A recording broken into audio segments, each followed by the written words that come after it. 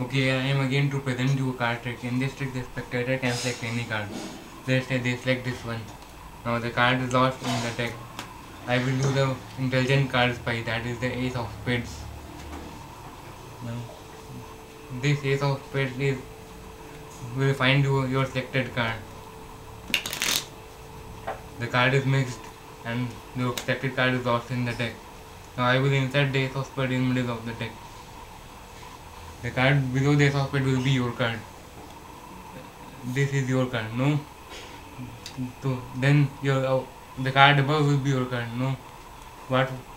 There, there is a special case when the spades can't find the selected card, it turns into the selected card.